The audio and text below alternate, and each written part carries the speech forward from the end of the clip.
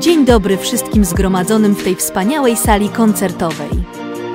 Mam ogromną przyjemność powitać Państwa na dzisiejszym wyjątkowym koncercie.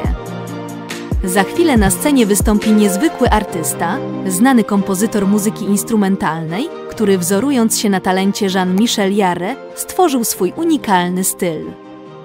Jacek S. Jaro, pochodzący z Polski, obecnie mieszkający w Szwecji z dwiema wspaniałymi aktorkami, przeniesie nas w świat muzycznych uniesień. Polski Jean-Michel Jarre, jak często jest nazywany, przygotował dla Państwa wyjątkowy występ. Na początek przypomni utwór, który na pewno znacie i kochacie. Przygotujcie się na niezapomniane chwile pełne muzyki i emocji. Przed Wami Jacek Elzjaro.